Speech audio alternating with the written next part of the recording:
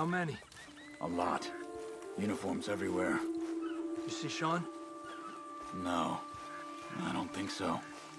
Damn it. Where's Trelawny? Who knows? Hey, Just... where's that little Irish bastard? I'm not quite sure. Trelawny's off trying to find out. Has anyone been in the Blackwater, see how things lie? Place is crawling with Pinkertons, bounty hunters, ah. pictures of Dutch and Hosea. Uh, we got a lot of money sitting in that town. And that's where it's gonna remain for now. Why haven't they hanged Sean, I wonder? I think he's bait. Well, they want to trial him publicly.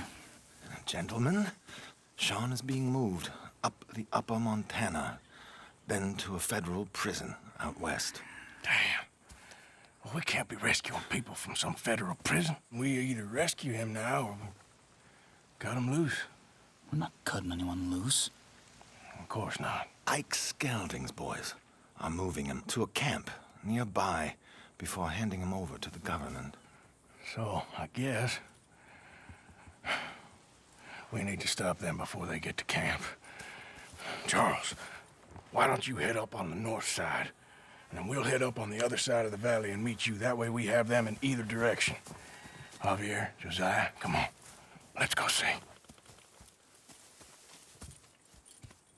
You know, Arthur, the government, or people whom the government like, seem to be very angry. Sure. Well, we'll rescue Sean and then we'll get ourselves lost, good and proper. It's a big country. I hope so.